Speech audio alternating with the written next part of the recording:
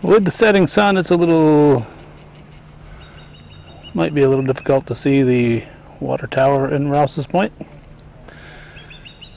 We're on the other side of the lake at Windmill Point in Alburg. And we're at the lighthouse owned by the Clark family. Take a look across at Rouse's Point. Try not to zoom in too fast here. And uh, you might uh, hear a little bit of noise. We have a summer resident, a family that has moved in uh, Windmill Point to Lighthouse area. That is an osprey nest way up there. And those aren't little pieces of uh, grass and such. Those are twigs and branches that help make up that nest. And every once in a while they kind of serenade us. I'm not sure if it's a friendly howdy or a, why don't you find some other place to gather type of chirping, but they're up there and uh, occasionally we can hear them in the background.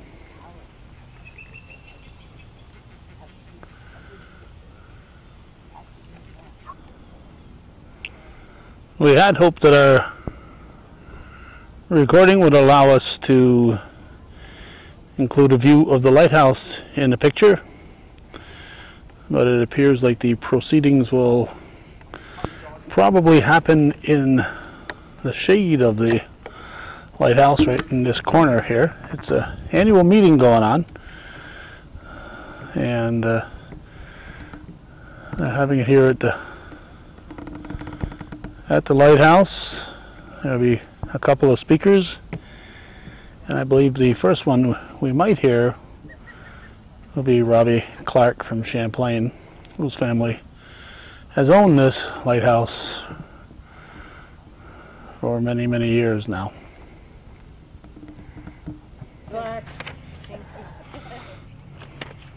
Good evening, everybody, and welcome to the Windmill Point Lighthouse. I'm so glad that you're here with us this evening. My name is Christine Tepper. I am a co-president of the Alburg Historical Society, and we are so glad that uh, Rob and Claire Clark have invited us here tonight to have our meeting. We did this about uh, nine years ago, ten years ago, ten years ago, I think, or nine years ago. 2003. 2003, so it's so good to be back here again. Uh, this happens to be the 15th anniversary of the Alburg Historical Society and it also happens to be the 10th anniversary of the relighting of the Windmill Point Lighthouse. So, very special occasion here, so welcome. I'm glad that you're all here with us. The way this evening will go, we will have a very short business meeting as part of our annual meeting, and then we will have uh, our speakers. So I hope you enjoy the evening.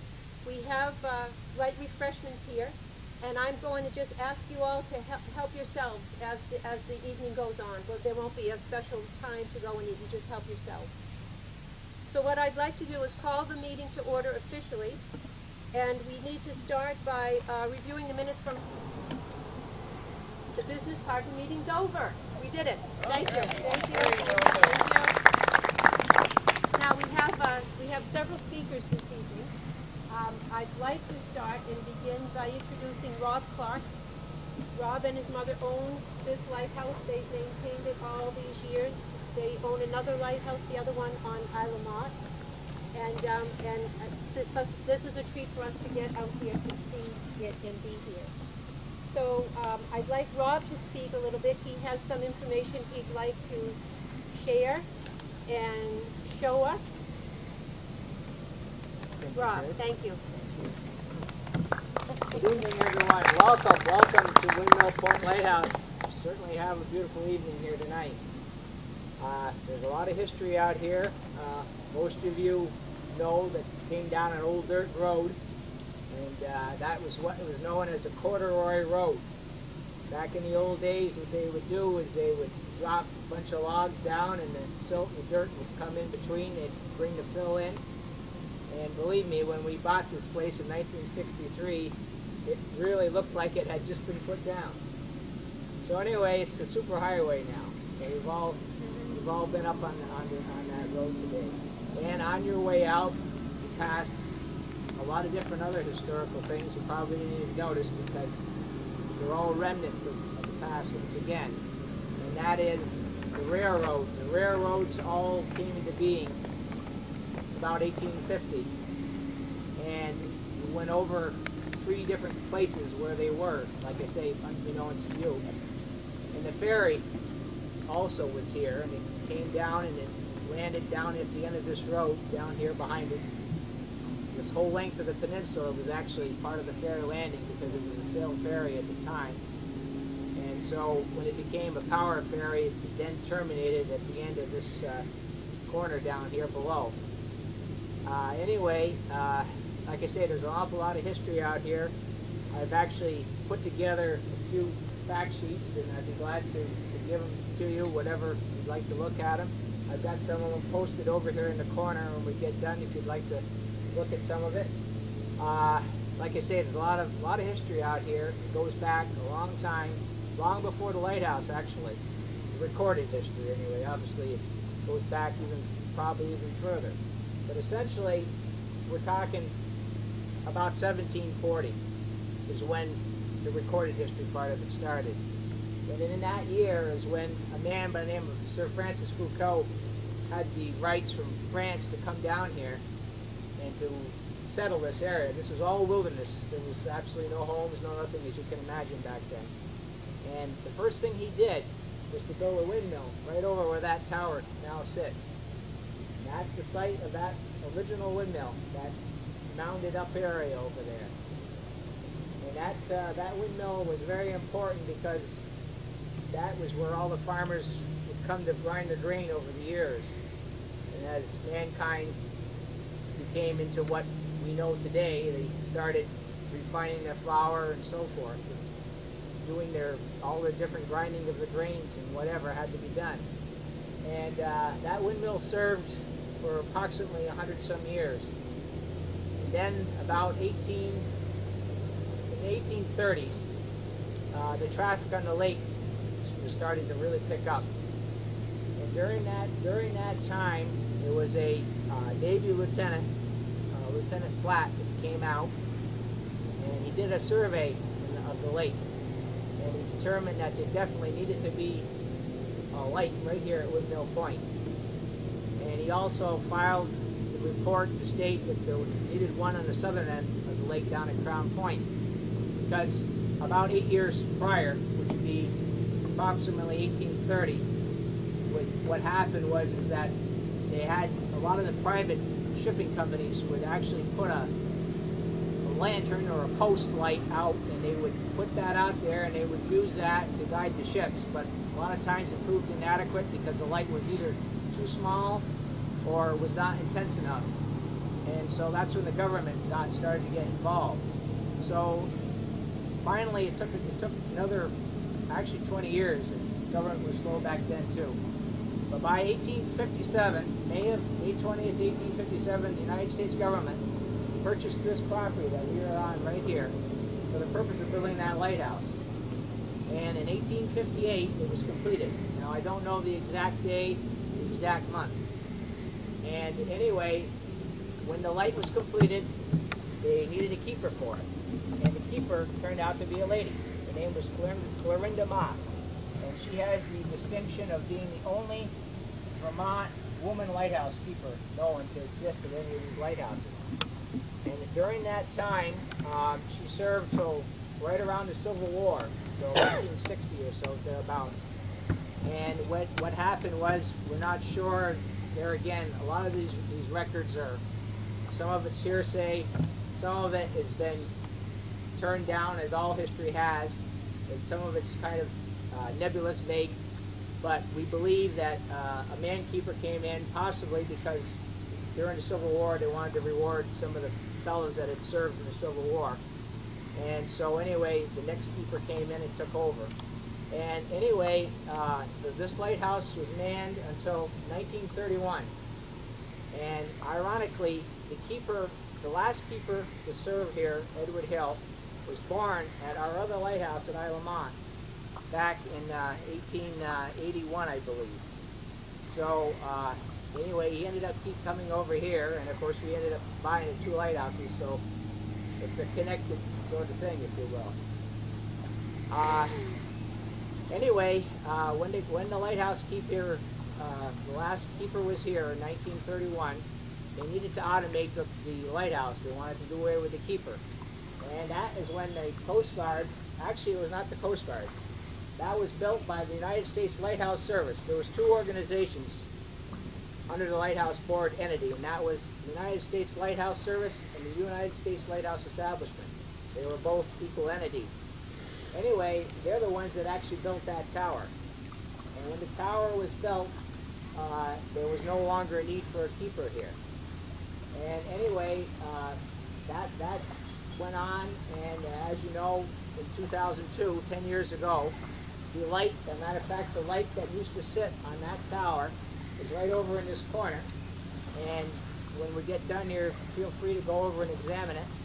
That was the last light to serve. As a matter of fact, this time, 10 years ago, it was still up there flashing because the actual date of the relighting was August 7th, but roughly 10 years ago. So anyway, um, trying to think here what else I could tell you about it. Um, so what happened was is that during this, this transition period, 1939 is when the United States Coast Guard got involved. So enough of the lighthouses had been automated at this point. And when they had, they decided they would merge what was left of the lighthouse service into the United States Coast Guard. And so in that time is when the Coast Guard came into being and in the lighthouse service. They actually existed obviously before that. Fit, fit? Does anybody have questions about any of this? How long have you owned the old house? My mom and dad bought this in 1963. One of the things Rob mentioned are the historic, the historic elements or the, the historic sites all along this, this uh, stretch of land. And uh, one of the things Rob has mentioned to me a number of times is wouldn't it be nice if we had a, a type of historic marker here in Alburg to show the other side of the ferry that used to come across from Rouse's Point to, to, to here, to the Windmill Point. And, um 'cause they have, they have a nice marker over in Rouse's Point of that, wouldn't it be nice to have the other end of that noted here? And, um, and I think it would be nice to have that. We recently, our town recently went through, um, a big study, a research, uh, the, it's called the Ancient Roads. And Cheryl Dunn, uh, headed that up. And Cheryl, we, you and I talked a number of times, we, did, we never really came across This- in, Well, this, this ferry landing belongs to the town. The town never relinquished the ferry landing, so it is town owned. The only thing is, is that the property across the street owns the land that goes to low water mark, but the town, but the town still owns that ferry landing. So there's, there's gotta be a piece of property there that this, this marker could go on. So it could, But our- it could still happen, it's not a, it's not a dead Right. issue. But we would like, we would like some, something. Well, it'd be nice. I mean, they did a, they did a Yes, ceremony they did a across the nice way. one across the way, it'd be nice if we could have something here to, to show both ends of that ferry landing from way back when. So, we need to, uh, we need to try to keep that going, and, and I don't know where we go with that. Is that something we then bring forth to the select board, Cheryl? Right, because all, it's all been documented. It's all documented on paper. So it is, You- you've got that. So, Right. so you can, we can look to that Right. piece of property and say the town does still own that, it is Right. still in public hands. Right. Okay, thank you. So that's what we do Right, next. okay. Uh, I might add John Dunville, who works at the Historic Markers, actually came up here uh, in 2009. We hosted an event at the other lighthouse at Isle La Motte uh, to celebrate the quadricentennial, which is Samuel de Champlain coming down the lake 400 years ago. And he had mentioned at the time he expressed interest in doing something of this nature.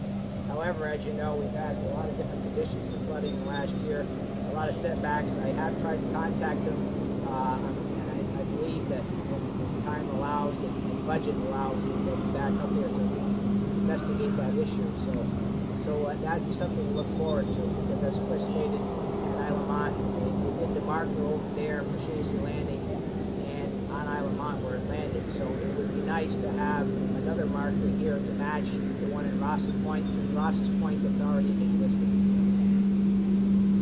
So, that's on the to-do list. Anything else you'd like to say Uh, about? yes, well, I, I, I I know the rest of them were our speakers, but I did have a couple more words to say, so.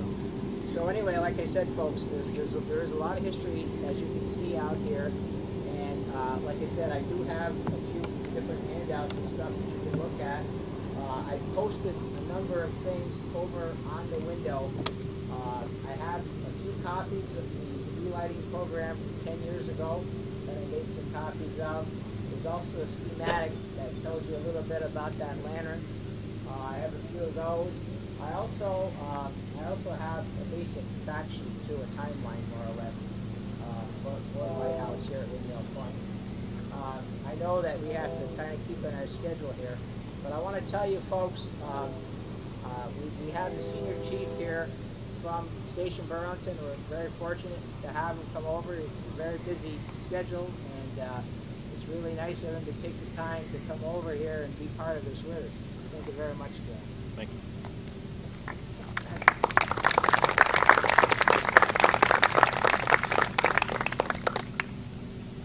Okay. Thank you, Dan. So this is, uh, this is uh, Dan, Daniel Murray, stationed in uh, Burlington at the Coast Guard Station. Thank you very much for being here.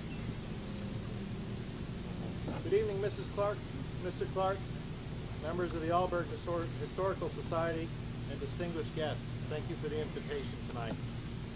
My name is Dan Murray, and I'm the new Senior Chief in charge of Coast Guard Station Burlington. I've been blessed with a great career, and the Coast Guard's been really good to me. The Coast Guard's taken me to places like Charleston, South Carolina, where I worked on a 378-foot cutter that patrolled the Caribbean Sea to deter the flow of illegal drugs into our country. After that, I spent four years in San Francisco, operating 47-foot motor lifeboats in heavy weather and surf. I was in San Francisco on September 11th and helped secure the port in response to the terror attacks in New York City. I left the West Coast and was second in command of an 87-foot patrol boat we used to escort Navy ships into and out of the port of Norfolk and also to enforce fisheries laws on commercial vessels operating in the Middle Atlantic region. I left Virginia and went to Wilmington, North Carolina, where I worked on a 210-foot cutter that took me back to the Caribbean to stem the flow of illegal drugs and migrants into our country.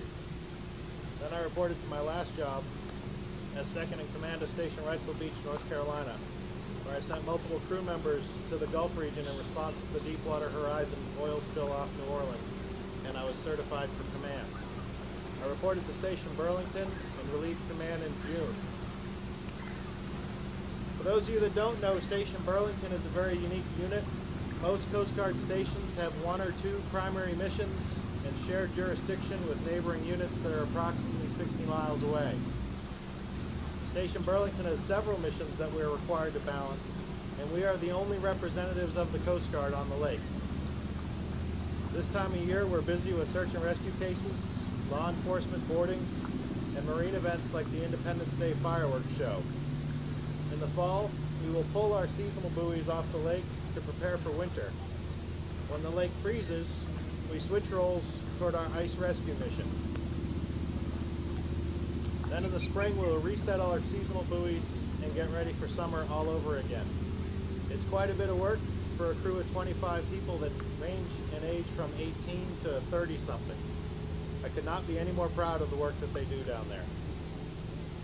Station Burlington's diverse set of missions are highly representative of the multi-mission nature of the entire Coast Guard. As an organization, we are created from several different agencies and we have transformed ourselves over the years as needed to best serve the American public. The modern Coast Guard was created in 1915 by joining the U.S. Revenue Cutter Service and the U.S. Life Saving Service, but our roots go back even further than that. We, we collectively recognize the Coast Guard's birthday as August 4th, 1790. This is when Congress approved Treasury Secretary Alexander Hamilton's request to build 10 boats to protect and ensure revenue collection. This resulted in the creation of the Revenue Cutter Service, which was one of our young nation's first sources of federal revenue. At the time, the Continental Navy had been disestablished and would not be reestablished until 1799. Because we had no Navy, the role of the Revenue Cutter Service expanded in 1797 to defend the seacoast and repel any hostility. The Lighthouse Service, as Rob mentioned, was initially run by individual states as early as 1716 and joined the U.S. Treasury Department in 1789. It merged with the Steamboat Inspection Service and became part of the Department of Commerce in 1903. The U.S. Lighthouse Service eventually became part of the Coast Guard in 1939. Many of the lighthouse keepers are among our greatest rescuers, as they rowed out to rescue shipwreck victims in addition to all the other tasks required to keep their lights burning. In 1848, Congress approved a request to provide surf boats, rockets, and other apparatus necessary to protect life and property from shipwreck on the coast of New Jersey. This appropriation would eventually provide a chain of volunteer-operated rescue stations along the coasts of New Jersey and Long Island. Members of the U.S. Life Saving Service remained volunteers, remained volunteers and were not paid for their work until 1871, 23 years later. The Steamboat Inspection Service was created in 1838 under the Justice Department, and in 1852 it became part of the Treasury Department. The Bureau of Navigation was formed in 1848 under the Treasury Department. The Steamboat Inspection Service and the Bureau of Navigation joined together in 1932 under the Commerce Department, and the combined agency became part of the Coast Guard in 1942. So as you can see, we're pulling from a lot of different places. The term Coast Guard was first used in 1915 to name the new agency made up from these various parts. The Coast Guard remained in the Treasury Department until 1967 when it was transferred in its entirety to the Department of Transportation. In response to the terrorist attacks of September 11, 2001, the Coast Guard once again switched departments when the government created one organization consisting of all federal agencies that share an interest in protecting the homeland. On March 1st, 2003, the Department of Homeland Security was created, and the Coast Guard became the largest agency within DHS. Now, keeping up with all that information can be quite a challenge, so I appreciate opportunities like this to get out of the office. These events help me learn more about the area and meet members of the various communities that make up the Lake Champlain Valley. Earlier today, I was in a small Cessna airplane flown by one of our Coast Guard auxiliary pilots. I had a chance to see the lake and this lighthouse from the air. In the short time that I've been in Vermont, I've met several people that are proud to be part of this area and are committed to sharing it with current and future generations. People like Arthur Cohn of the Lake Champlain Maritime Museum, who has dedicated himself to preserving and sharing the history of Lake Champlain. People are members of organizations like the Alburg Historical Society that seek to preserve Alburg's past and promote an appreciation from Alburg's rich and colorful history. Got that right off the website. Um, people like Rob Clark, whose grandfather purchased the Isle La Motte Lighthouse in 1949 and whose father purchased this property in 1963. His family is dedicated to safeguarding these local treasures and preserving them for future generations to enjoy. With the help of a wise Coast Guard admiral, Mr. Clark's family was able to relight this lighthouse 10 years ago. Today we commemorate the anniversary of that day, as well as the 15-year anniversary of the Alburg Historical Society. That Coast Guard admiral realized that the lake and the people on it would be better off if this light were operating. The admiral realized that the Coast Guard does not have unlimited funding to do all of the things that we would like to do. We need to make leadership decisions and trade-offs to ensure that we are being good stewards of the public trust and of our limited resources. That admiral formed an alliance with Mr. Clark's family to relight the Windmill Point Lighthouse. That alliance ensured that the light would operate and provide a reduction in operating costs to the Coast Guard. The light that shines from this tower increases the safety of all those who operate on the lake and increases the beauty of the area to all who see it, whether from land or water. Find it very rewarding to work in an area where people are willing to do what they can to help others.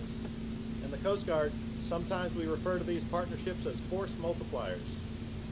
For example, Station Burlington has four boats and 25 people.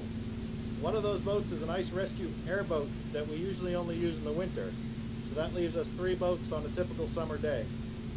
With the help of the Coast Guard Auxiliary, Vermont State Police, Fish and Wildlife Service, Burlington Police and Fire Departments, Colchester Police, and multiple sheriff's offices, we were able to put 14 boats and crews on the water to shut down the harbor for the recent Independence Day fireworks show in Burlington. We also operated two radio communication centers and fed over 75 people that day. This is just one example of how people can help each other produce great things with limited resources. Thank you all for the things that each of you do to benefit our community, and thank you for coming here tonight. I look forward to building these relationships and enhancing these partnerships over the course of my time here. Have a great evening.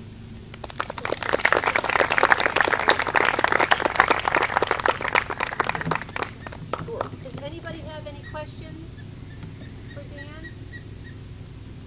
So do I understand correctly, there's only one Coast Guard station on the lake? There's no uh, New York Coast Guard station? Correct. This is it? Um, Okay. And, and just as a reference point, if, if there's a lake that's located entirely within a state, that's a state waterway. You won't see a Coast Guard station there. But um, on lakes that are bordered between two states, like Lake Champlain, Lake Tahoe, um, because it's a border between two states, it's a federal waterway. So that's why there's the federal presence of the Coast Guard here. And especially when you add in the international border at the north end of the lake, um, there's definitely a reason for a federal presence of the U.S. Coast Guard here. Um, but we are the only unit on the lake, and um, I talked with Mr. Clark about partnerships, and, and I couldn't do my job without them. Um, you know, if we get some a rescue case up here at the north end or a rescue case down at the south end, we're going to go for it, but it's not likely we're going to be the first one there. Um, lots of the fire departments, sheriff's departments, police departments have boats and rescue apparatus, and if there's a, a rescue case at either extremity of the lake, eight times out of ten, they're going to get there before we will. We're still going to go. We're still going to make the effort. If something doesn't work out with that first response, we'll be there. But um, but it's a, it's a good sized body of water to, to cover, and, and we're proud to do it. Thank you for your good work. Yes, sir. You. You mentioned the, the generous support you've received from the other agencies. I was surprised you didn't mention the U.S. Border Patrol, because I believe they have two boats, at least. I see two Border Patrol boats parked over here in Missisquoi Bay. I don't know if they have any lake. And, and I apologize, sir. I've only been in this job about a month, so I haven't I haven't had a chance to open up that partnership with uh, Customs and Border Patrol up here. I know that they do a great job on the northern border of the lake. Um, I just haven't had an opportunity to work with them yet. And uh, specifically, uh, I, I was referencing the, the Burlington fireworks show the other night. And, and although they do great things up here, they weren't there that night. So I apologize for the confusion. I hope I discovered new resources for you. Yes, yes, They, they also seem to have a few helicopters too. they do. And I've been told You they're great if, those. if we, uh, if we need a helicopter to help us search. Because um, our helicopter's actually down in Cape Cod, Massachusetts. So um, it might take a while to get a Coast Guard helicopter up here.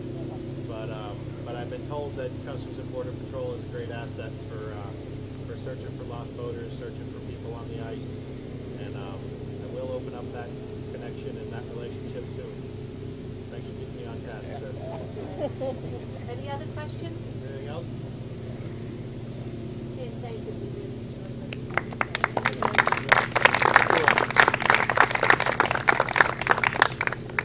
Okay, as I mentioned earlier, you know, people, please help yourself uh, for any of the refreshments that you might like.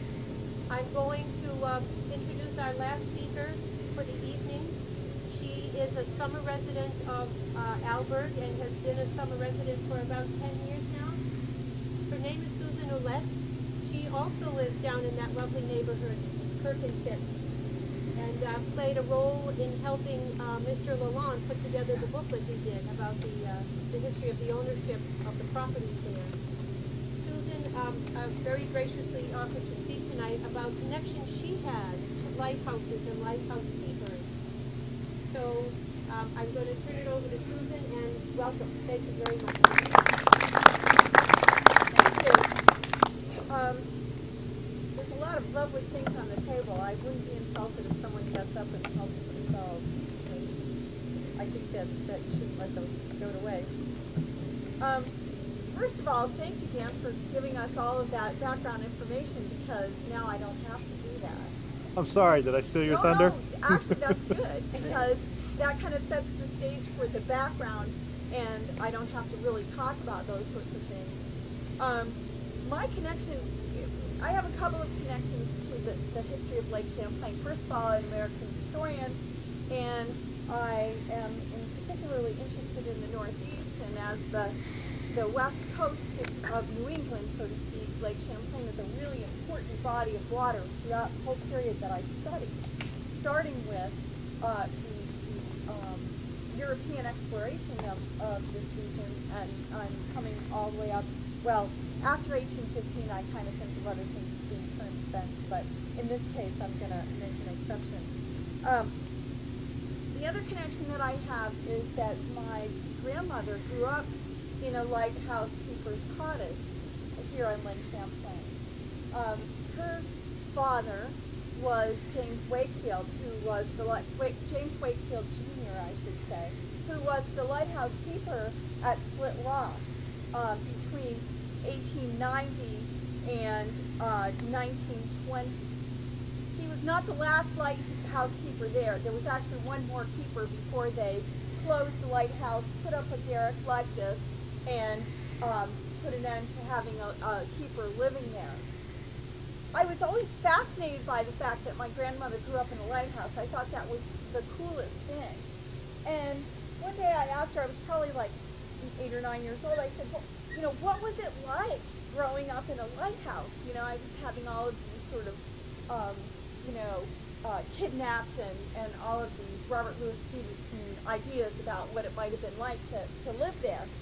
And she said, well, I guess my most, uh, my strongest memory is of wool, wet wool. And I thought, really? Wet wool? What, wh- why would that be the case? Well, it made sense when she started to explain that her father's primary duty, aside from making sure that the light was active and working, was rescuing people. And so the Split, Split Rock Lighthouse sits where the Broad Lake narrows down, and there's a, it's also the place where boats coming up from the Champlain Canal into the Broad Lake most often got into trouble.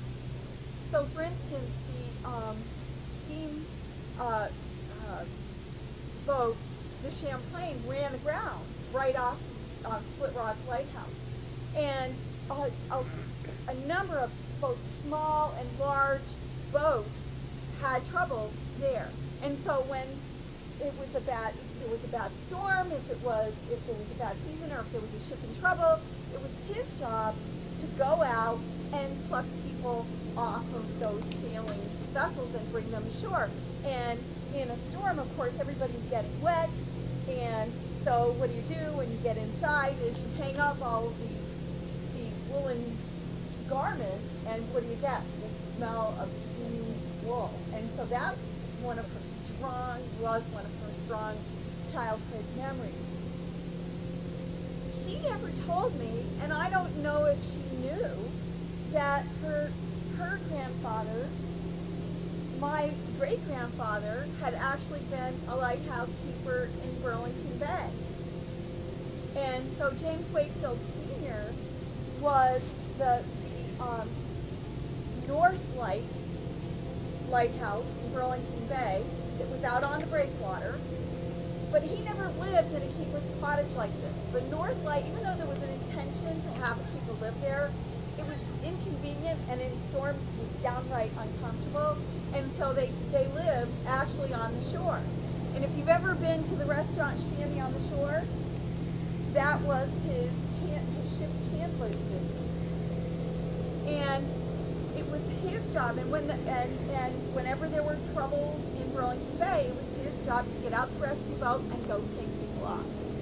And so when the General Butler went down in Burlington Bay in a very stormy November, uh, one stormy November, I should say, and the crew ended up on the breakwater, it was James Sr.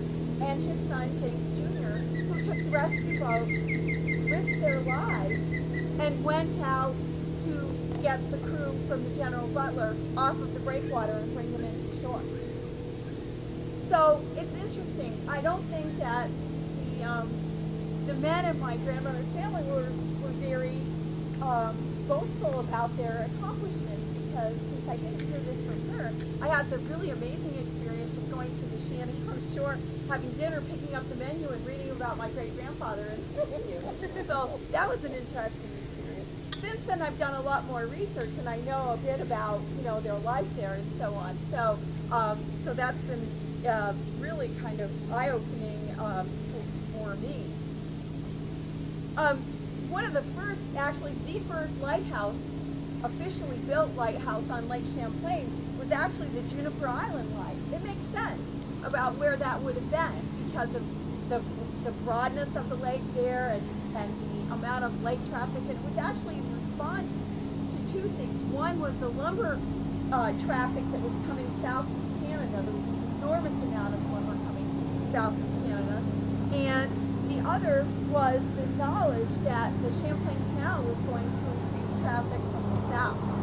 And so there was this um, intent to begin to um, see this waterway as being incredibly important. And of course, over three major wars, was a theater of war. First, it was uh, the French and Indian War, then the American Revolution, and then the War of 1812. So no, there's there's absolutely no question that this was seen as a strategic waterway, even then.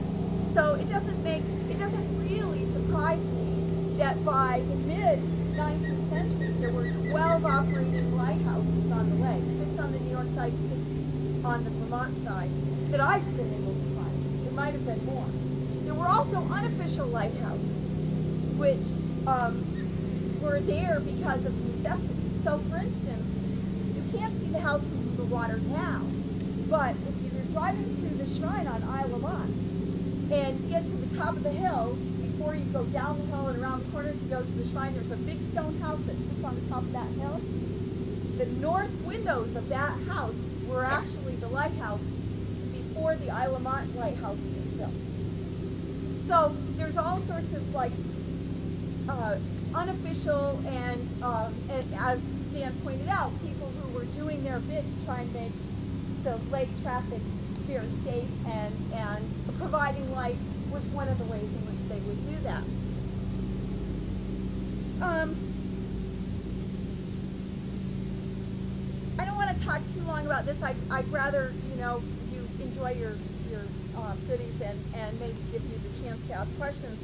Um, what I would finish up by saying is that um, the tradition of being lighthouse keepers in my family was something that I didn't know a lot about until I started doing this research, but it's, I'm very proud of it because I think that it's part of a long history of the way in which people learn how to live in their environment and make it safe and make it work for them. So being a lighthouse keeper part of that um, process.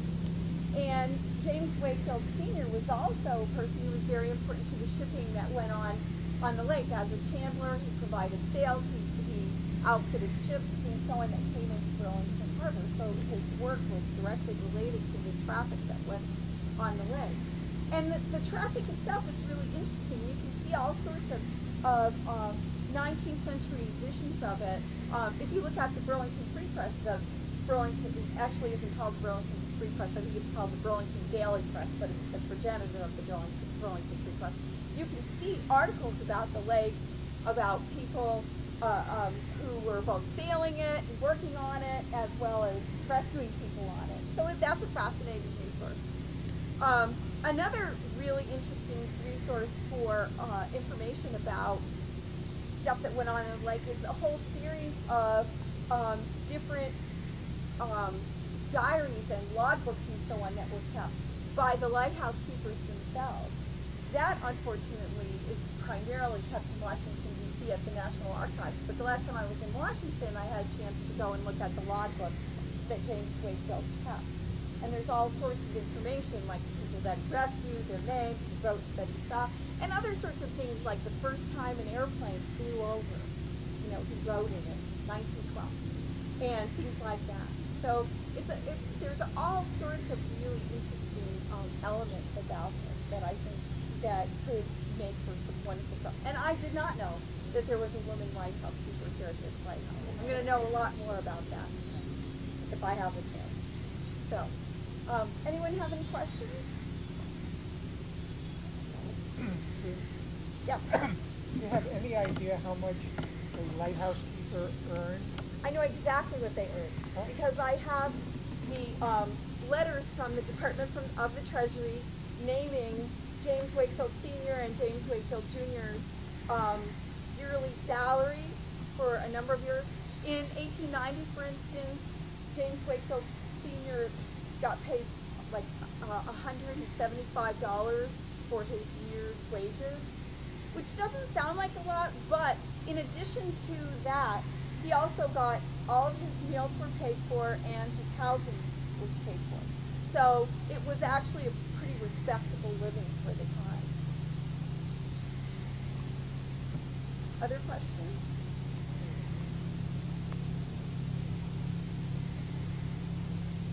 Susan, thank you. That was so helpful. And we've got it, and we've got it on film, and we've got it on tape. and It's gonna be great to, to have and look back on, so thank you for that. Um, also, I, I neglected to mention that, um, Rob, are you gonna put that booklet here of pictures? Yeah, I'm Rob gonna- has some pictures, uh, a couple of earlier pictures of the lighthouse, and I found them interesting. It was showing Rob and his father, uh, working on the, the, uh, the lantern to get it, uh, going again. And you see, uh, how many parts were involved with it, and cleaning them, and, you know, getting them ready to be working again. So that, I, I, it's in this booklet here, you'll see some nice pictures of, of, the, of this lighthouse, this beautiful structure. Thanks, Chris. Um, you also mentioned tonight, we have a, another fellow behind the camera, Mr. Calvin Castine. He's been doing this since 1983. And he goes to a lot of these events and records these things. Uh, and sometimes he gets very few dollars out of it, but he still records it because he thinks it's important. We want to thank him very much for the many kind deeds he's done for recording all these different events so you, our folks can enjoy them in the future. He's even done the Alburg Parade for I don't know how many years. Calvin, have you done Alburg? 15 maybe, I don't know. So, and, uh, all of his, his videos, he allows people to view them. Uh, www.hometowncablenetwork.com. And uh, like I say, he's always can always use it a few extra dollars. So, Calvin, thank you very much. Thank you, Calvin. You know, folks, uh, like I say, there's, there's a lot of feelings, a lot of emotions here. Um, I'd like to, we could have just a moment of silence for a few of the people I'll mention here uh, that are no longer with us. My dad, of course, my aunt Erica, uh, the man whom we bought this lighthouse from, Mr. Emil Bear, our friend Admiral Richard A. Bowman, who was instrumental. I always give him credit for planting the seed that has come to fruition here. Uh, Mr. Merritt Carpenter, who was a, a famous captain on the lake, Frank Paps, who Calvin's interviewed before, and last but not least, Maribel and Russ Singer, who did so much for Alburg community. Can we have a moment of silence for those folks, please?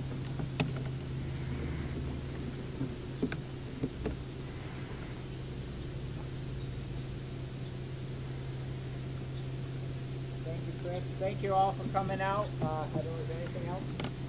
Um, the only thing we have coming up is, uh, Friday, July twenty-seventh begins the Festival of the Islands. That will be lots of different activities going on throughout the islands. A lot of places are open for business, nonprofits, whatever. We will have the Alburg uh, Firehouse open on that Friday for those of you that would like to come and see the progress we're making inside. We'll also have uh, some of our books for sale that day too. If you'd like any, that would be wonderful. So, hope to see you then. Right. Rob, thank you. Yes, you're welcome. And like I say, I have some different handouts and we can talk a little bit here before it gets dark. If anybody has any questions or whatever, I'd be glad to try to answer them. Um, and like I say, uh, thanks to Susan for, for the wonderful talk you gave, the senior chief, and Chris and Howie, and thanks so much, Thank you everyone for being here.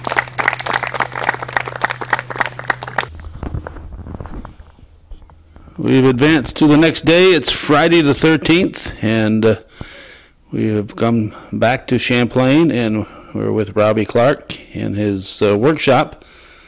So pay no attention if you see a, a greasy monkey wrench on the floor. This is a place of work, but he's uh, put up a little display here. And first of all, the fellow who took this picture must have been kind of tall, Robbie. Yeah, tall fellow.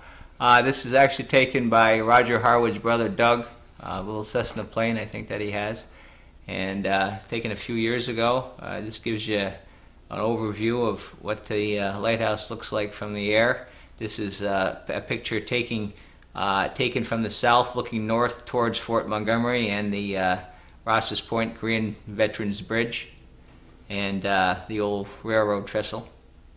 Okay, and of course, uh, I know uh, Doug Harwood took a lot of shots for Jim Millard of the uh, of Fort Montgomery. Uh, Jim Millard has a great uh, website. It includes a lot of information on uh, on Fort Montgomery. What else you got in that book, Rob? Okay, Calvin, we got, uh, this is pictures taken, uh, ten years ago. Uh, this is out in the, in the shop here, right where, we're actually right where we're standing now. All right, and that old feller, that's your father, Lockwood. Lucky Clark with his, uh, Sunday best, as they say. Uh, that's, uh, what, what, what we did here, that's a picture of the, uh, top portion of the pedestal. The pedestal is the apparatus that holds the, the modern optic, the, the Fresnel lens, the light, 300 millimeter light. Uh, there's an example of it here. this is a red, a red light, and the reason why it's red is because at the time uh, we were trying to get the bolt pattern, and the Coast Guard hadn't determined whether they were going to swap the old 250 millimeter lights, which is the one you can. It's hard to see because of the it's in the the reflection from the the, the light coming in the window, but it's sta- standing up on this other Right. temporary setup that we had. And uh, what we what we were doing, like I said, is we were we were trying to determine what what which ones they were going to use. So we had to have, drill it both ways, so that if they decided to go with one light, we would use one set of bolt patterns, and if they use the other, would use the other set, and so forth. Uh, then down down below is is the framework uh, for the solar panel before it was painted. Um, there's another picture uh, a couple pages on here uh, showing it with the solar panel in place. Uh, the bottom picture is all the sections that we had to put together. Now, the original pedestal was left, fortunately, over to Windmill Point, and it was all made of cast iron, so it's all one piece. The fact that we don't have access to a foundry anymore up here in Champlain, we actually fabbed the thing, so we did it all piecemeal. So all those pancake pieces that you see there are all stacked together, and consequently make what's what you what you're seeing right here, all when it's all assembled. Okay. All right. All right.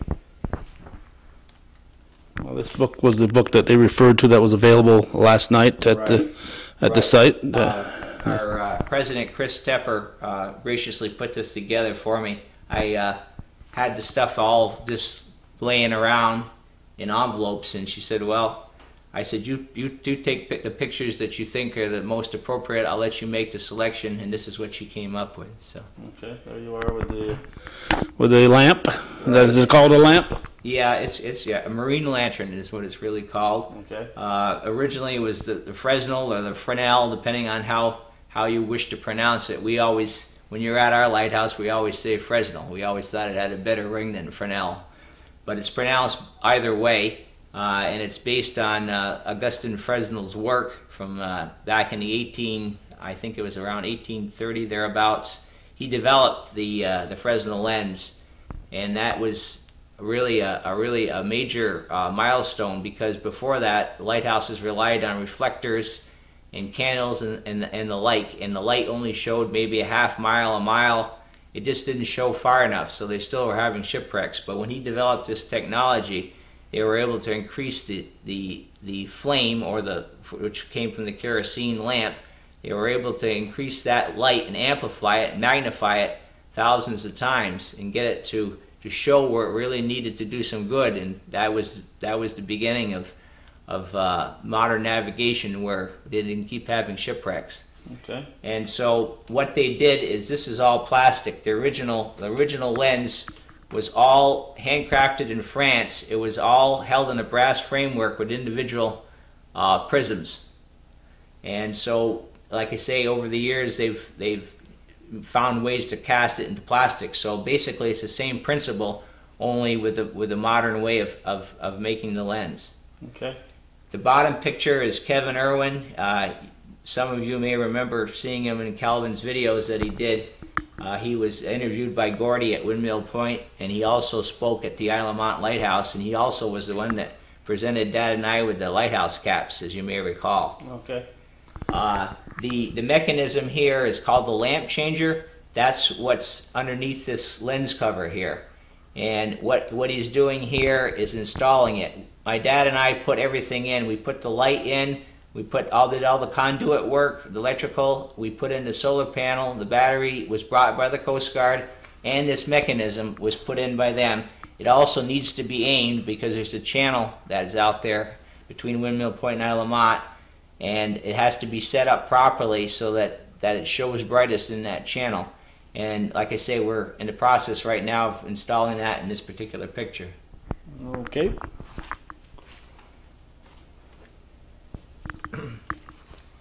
Now this picture was taken by John Carey, and you can see the date there. I think Calvin can make, can make it out. It's taken in June of 2002. And this shows the, the final assembly for the uh, solar collectors. And uh, if you look closely, you'll notice there's a difference between the two. And the reason being is because the railings are different at each lighthouse. So in order for it to bolt in, it had to be custom made for each lighthouse. Also, it has to extend out beyond the railing because they did not want any shadowing on the on the solar panel. They wanted to make, make sure that it got optimum charging ability. So it sticks out beyond, so that it was quite a lot of engineering that went into doing that.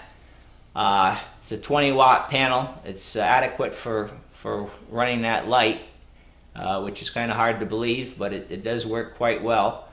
Um, this is the, the two lamps themselves that are sitting on the floor. Like I say, we hadn't yet brought them over to the lighthouses.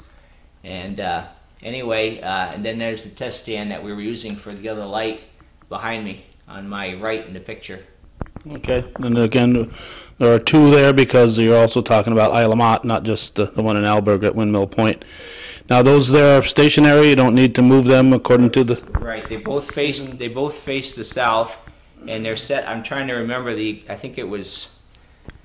Trying to remember the degrees. Was it like 37 and a half degrees, something like that? It's all we got the dimensions uh, from the people who make the panel. We, we contacted them, and they, depending upon your latitude and longitude, there's there's an optimum angle that they're set at, and these are set at that base for where where we live here. Okay.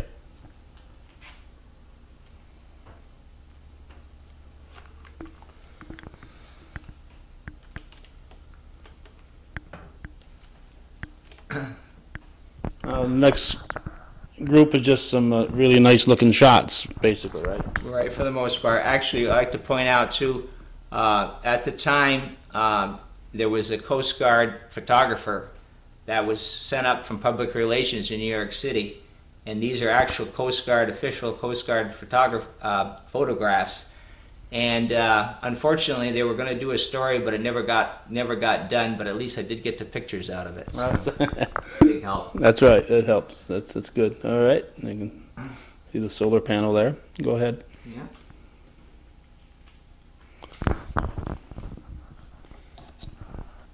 There's another angle, another shot. Uh, if you look, you can see the skeleton tower here in the back. And it still has, these are what they call the day boards. This up here at the top, this has a W on it. So when, when, when, the, when the Coast Guard was still using this tower, this would, this would identify the lighthouse as Windmill Point. Okay. Um, the one at Isle La Motte had an M on it, of course, for, for Motte, for Isle La Motte. Well, naturally, yes. Right. And these were these were done with reflective tape, and they had like a black and white pattern on them. And of course, now that this tower is not being used, they've been taken down. And of course, it, you could obviously tell the day mark. You can tell by looking at the lighthouse. You don't need to to have a, a actual letter on it.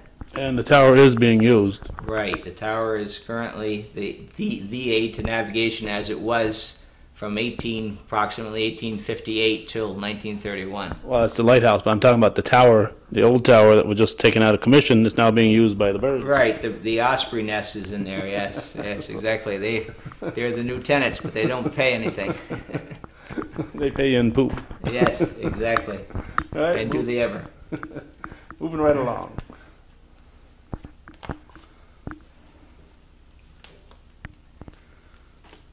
Now this this picture here, uh, this is different different websites had this particular picture right here. Uh, this is Senior Chief Jim Stoidle. He has the same capacity as the man we met last night, uh, Dan Murray. Uh, every four years they have what they call a change of command, and they get a whole new batch of people that come in to work at Station Burlington. Uh, he's presenting a plaque to my dad right here uh, in the picture, and also the old light from the skeleton tower is being presented to me. Uh, you can see Mr. Art Cohen off to the side with my dad, Mm-hmm. and of course a picture of my mom and dad the night of the, the relighting ceremony on August 7th, 2002. Alrighty.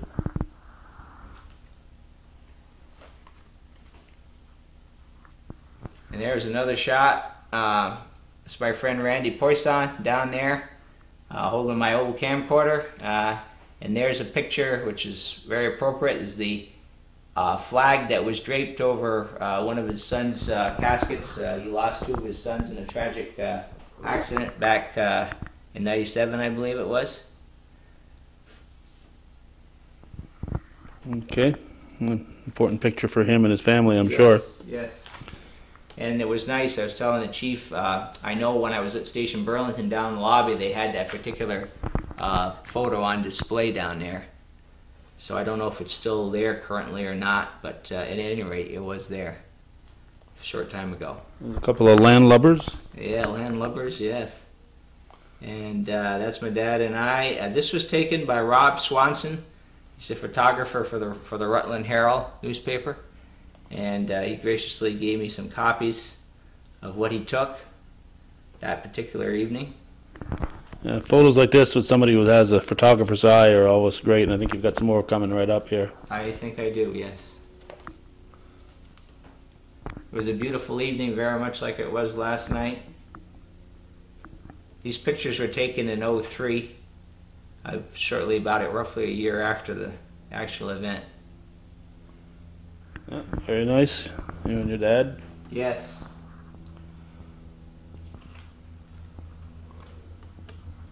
And, And your dad with the yeah, with the lighthouse. and the official Coast Guard lighthouse keeper's hat. That he wore proudly. Yes, he most certainly did. All right.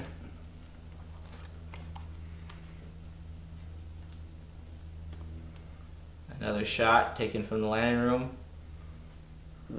Sun low in the sky, or Yes. I assume it's low, not early morning. It's Yeah, it, it, correct. It's it's the setting sun in the west. Yeah. okay. And this particular picture right here, uh, was the picture that they chose for the for the story that the Rutland Herald did uh, in that particular publication. Move the top up a little bit. I think we can get some glare. There we go. That, that's just, just a great silhouette shot. It's amazing. Like I, like I said, with somebody who has an eye for photography, Right. you know, a lot of people can take pictures, but Right, there are people that, that can do this also. Exactly. Yes. That's that's that's what they hire hire him for, as they say. Yep. So is that the end of the book? Uh, yeah. Uh, we can see if there's a couple other things we might want to look at. All right. Okay, here's a picture that shows the uh, the way you guys used to come in before you had neighbors, and that right away is still there, but uh, not to cause uh, problems with your neighbors, you kind of avoid that that Right. right in by the lake. Right. You can see the gate there. You can see the path uh, that would run in front of all those new houses that are built there. Now that's north of the uh, lighthouse. Correct.